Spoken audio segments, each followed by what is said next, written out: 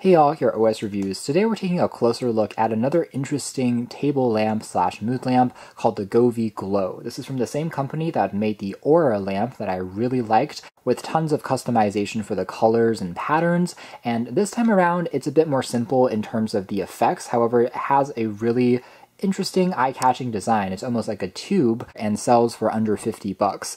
Now the tube here also has small little perforated holes. It's made out of aluminum and metal, so it casts this almost diffused light as you are going upwards naturally and uh, just looks really interesting, almost like flames that are inside, even though it's just an LED lamp. And as always, you're able to change the colors, although it's just one color at a time this time around. It's still connected using Wi-Fi, so you're able to control it using the companion app or even using a voice assistant, and otherwise, again, just looks really modern and elegant with the entire thing measuring over 6 inches tall. So inside with the lamp, we also have a quick user guide with a QR code that you can scan to download the companion app called Govee Home.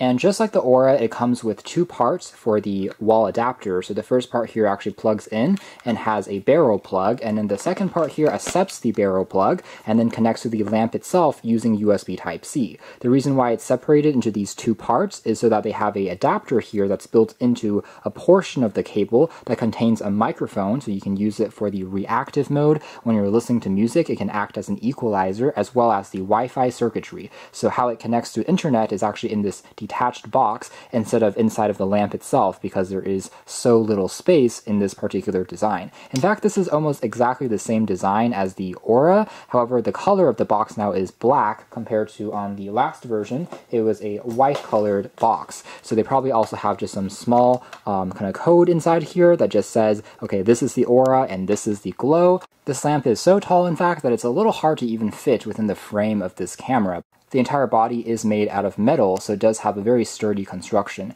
Even when the lamp is turned off, I would say that the design here in terms of hardware is a little bit more interesting looking. Now the base here though is painted just a regular kind of silver color and houses the touch controls. It is worth noting that the touch controls this time are also backlit. So if you touch it gently, you can see how it will uh, still be visible in the dark. You can find your way around them. And otherwise, the base here also has some soft touch rubber feet that prevents it from sliding around on a surface or a desk. The overall lamp itself, even though it's quite large, is still relatively lightweight. The base part is made out of plastic, but again, the top portion here from this point onwards is all made out of metal. All right, so turning it on, the first mode that it's at is actually a equalizer effect, which means that it will be flashing and strobing using that built-in microphone, and it will start to change the color every single time that it flashes, as you can see there.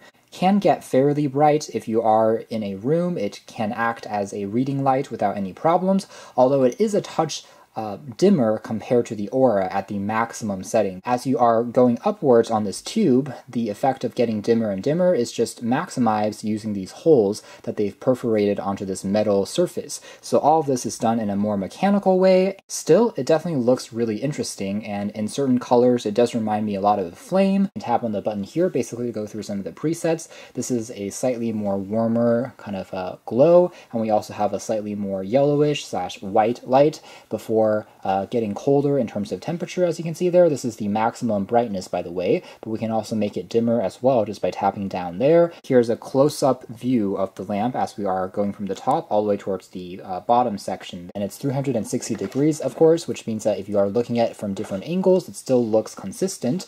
If it's your only desk lamp and you want to have more directed light uh, at a particular point, such as a keyboard or a paper, it's not going to be quite doing the most effective job because it's more of a diffuse light. Once again, the companion app Govee Home is what makes it a bit more interesting. So we can jump into here and we see that this particular lamp has been connected to Wi-Fi. We can turn it on just by tapping there. Under the first tab, which is color, you can change it to a single color, which is exactly the same that we saw on the Aura lamp. So you can go between these different shades just by quickly jumping back and forth. All looks quite good. And even go into a color wheel to get more granular color control. And then the music, also very similar to what we saw on the Aura lamp. It will flash and strobe to your sound uh, from the microphone. The sensitivity can also be changed auto color, or you can keep it at one single color, like red. And other ones that you can play around with include the preset scenes. There are 20 of those which are built on in that gives you a slightly different atmosphere. So here is a leisure mode, which is kind of a warm candle light.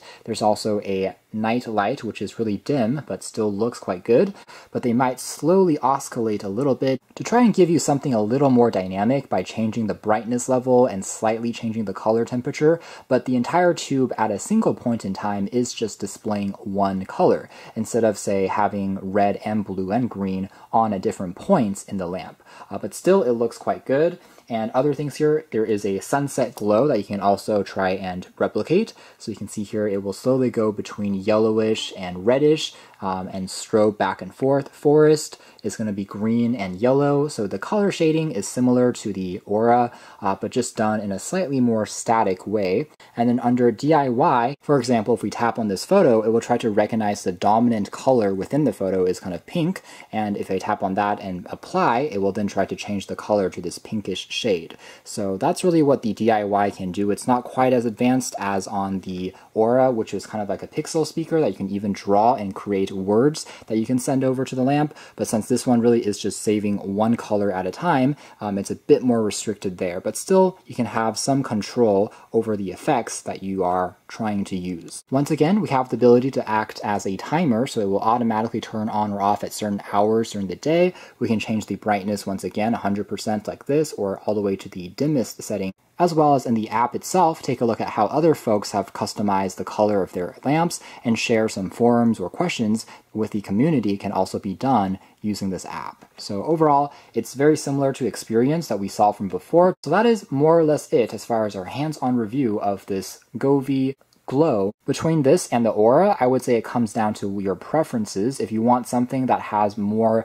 lighting effects, then the Aura might be the one to go with. But if you want something that has more of an interesting design in terms of the hardware and just looks more unique and eye-catching from afar, this is a certainly interesting option to consider as well. So you can check out more details if you're interested in the links down below. For now, that's been our video. Thanks for watching here at OS Reviews.